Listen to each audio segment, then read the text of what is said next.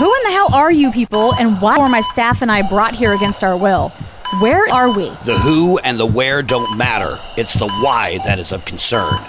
Dr. Bailey, I'm Agent Lawless. You and your team have been brought in to manage this man's condition. And what exactly is his condition? He's sedated for now. We need that sedation to last indefinitely. He was a deep cover agent for years. The information in this man's head is a great risk to national security. What exactly are you asking of us? Your job here is quite simple, Dr. Bailey. Keep this man in a chemically induced coma until given further instructions from myself and myself only. You're asking me to keep this man in an indefinite coma? I'm not asking. The situation is this you do as you're told, or I will have any record of this conversation ever happening erased by any means necessary, and then find a doctor that knows how to follow instructions. Of course, none of this can leave this room.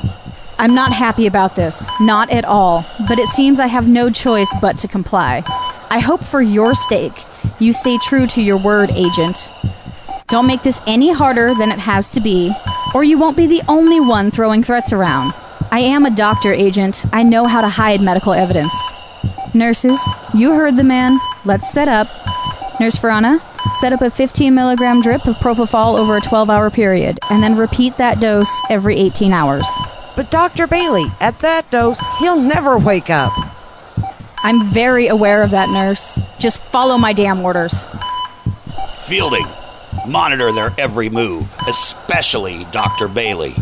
We can't afford to screw up again. This man must stay comatose.